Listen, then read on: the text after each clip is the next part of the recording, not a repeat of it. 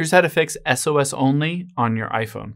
Now, if you're on your iPhone and you see at the very top it says SOS only and you need to fix it, you need to basically enable your cell network so that you can make calls, receive calls, text, all that stuff.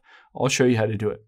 Now, if we open up this support page from Apple, you can see if you see SOS or SOS only, that essentially means that your phone is not connected to a cell network. It's only SOS or emergency calls that you can make.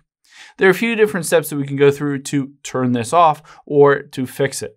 Let's open up our settings here, and the first thing we'll do is toggle on airplane mode. This will disconnect from your Wi-Fi, Bluetooth, and cell network, and then let's toggle it off. So just reconnect to everything. Again, this is an issue with your phone connecting to your cell network. Now, the next thing we're gonna do, if that doesn't fix it, let's tap on cellular here.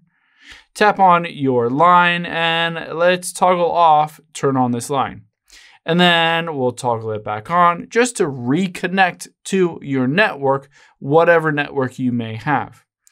Now let's go back. The last step that you're gonna do on your iPhone is if both of those don't work to fix it, you're gonna restart your iPhone. Tap the volume up and the side button here and hold those until you see the option to restart your phone or shut it down. Or if you see the Apple logo, it'll just force shut down and restart on its own.